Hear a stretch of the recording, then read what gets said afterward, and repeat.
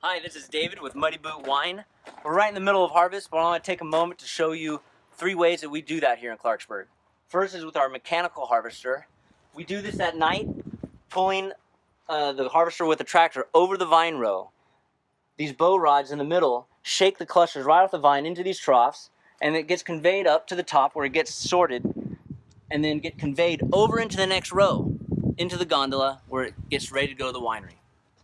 Let me show you another way we do this. The second way we harvest is by hand. Although this takes more time and is more expensive, it actually allows you to be a lot more selective in which clusters you want to harvest. These lug boxes go into other bins that go straight to the winery, nice and cool early in the morning at first light. Now, there's another way we harvest here in Clarksburg that's very secretive, very unique, and I'll show you the next row. The third way we harvest in Clarksburg is with Tom Merwin, the Chardonnay whisperer. Grapes are just jumping out of the vine for this guy. Hey there, Chardonnay. I've been waiting for you all year. It's gonna be a nice ride. Make some delicious, luscious wine together.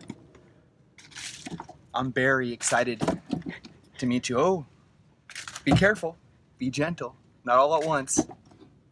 That's it. Gonna take you to a nice, comfortable location. Get you off the vine. And you guys back there, we've got room for you too. We've got room for everybody. And now we're harvesting.